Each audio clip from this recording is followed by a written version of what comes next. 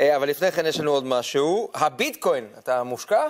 לצערי לא. אני, תמיד יש לי ניסיון של להיכנס מאוחר ואז אז להפסיד. תקשיב, אה, זה, זה בצלילה, תתכונן, תכין את הכסף, 20,000 מה. דולר. כן, כן, כן. יובל רואש הוא מנכ"ל ביטס אוף גולד.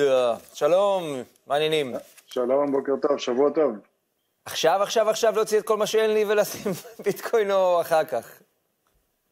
זה תמיד השאלה, שאלת ה-21 מיליון ביטקוין. אה, תלוי מתי אתה אה, רוצה להיכנס, תלוי כמה אמיץ אתה, ואיך אתה מתייחס לירידות שערים גם בשוק ההון. לא, אבל בוא כשאתה נדבר נכנס לשוק רגע. ההון, אה, אתה מסתכל על הגרף גם כן. מה שנקרא, מ-70 ל-20 זה...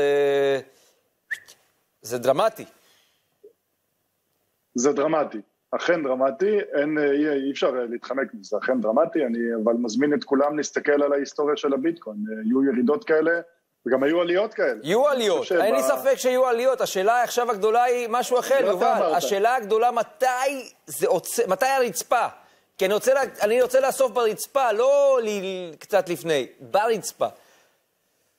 תראה, כמות האנשים שקנו אה, אה, לאורך השנים, אנחנו פועלים אה, בביט סוף כבר עשר שנים, כמות האנשים שקנו בשיא של אותם זמנים, אה, ואז נפגשו עם זה בשיאים החדשים, אה. אה, רוב הלקוחות. אז אני יכול להגיד לך שלאורך זמן, כשמסתכלים על ביטקוין כהשקעה ארוכת טווח, זו השקעה שהיא בטכנולוגיה, שהיא פורצת דרך, צריך תמיד לזכור את, הנקודה הזאת. אז כשבוחנים האם השקעה, אז צריך לבחון באמת במה משקיעים וב, ו- ואיך זה נראה, לא רק בביטקוין, גם במטבעות אחרים.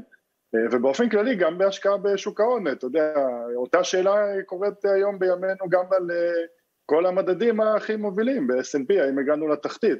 אז, אה, אז, לצ... אז היום הביטקוין מתנהג פחות או יותר כמו שהשוק ההון מתנהג, יש אה, ירידות אה, כמעט אה, בקורלציה מלאה עם, עם שוק ההון. שזה זה אגב, יש בזה היה. משהו טוב, אה יובל? יש, כאילו, אתה אומר לעצמך, יש נרמול של ההתנהגות של הביטקוין. יש היגיון כבר בהתנהלות של הביטקוין, באיזשהו מובן אולי, כל- לא?